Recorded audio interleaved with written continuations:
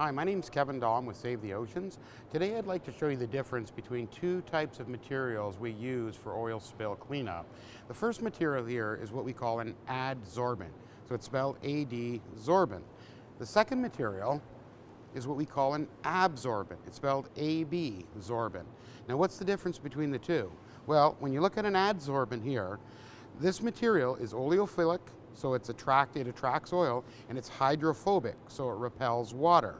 Now the absorbent does that as well. However, this material, when you squeeze it, it actually, the oil can come back out again. When we use an absorbent, it grabs onto the oil and it doesn't release it. Why is this important? Well, if you're in a major oil spill and you got wave action going, you're actually just catching the oil and you're releasing it. And that's what you don't want to happen. So let's go to the tank here and we're, we're gonna show you how this stuff works. We're just gonna put our little boom down here in the water. And I'm going to take a bit of used motor oil here and we're just going to drip it onto the surface. Now what I'd like to show you, this reaction, have a look, careful look at how this material works. I start wiping the material and you can see it doesn't want to grab all the oil. I'm going to rub it around, rub it around. It's grabbing a little bit, so I'm coating it on there. It's grabbing a bit.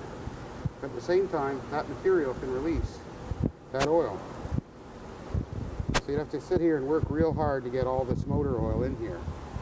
So you, you can see basically the poly, it's okay, it helps a bit, but again, you've got a certain release factor there and you're not getting the action you need. And remember, the critical thing in an oil spill is to move as quick as possible.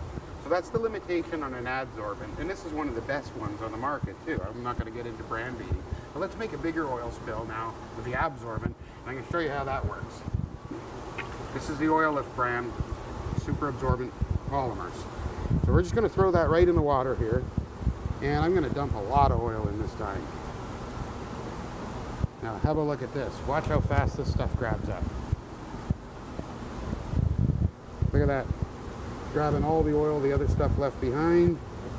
We're just turning it in the water. And you can see it's just grabbing everything, just moving it across. It's just sucking it right up. One of these booms, by the way, weighs about six to six and a half pounds at the start.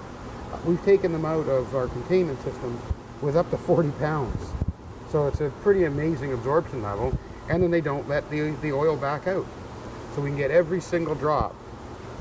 It holds on, it doesn't release it. You can see here, we're not letting any water out. Or sorry, we're not letting oil, any oil out. And in fact, we're letting all the water out. So you've got nice clean water. Yeah, you know, very quickly. And that's the key in an oil spill, if you really want to have a positive effect.